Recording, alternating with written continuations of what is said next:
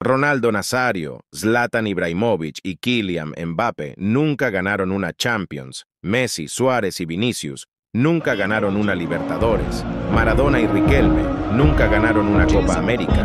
Pelé nunca jugó en Europa. Neymar, Cristiano, Benzema, Lewandowski y Haaland nunca ganaron una Copa del Mundo. Solo un jugador ganó todo eso y mucho más con tan solo 23 años de edad. Seguro ya saben quién es.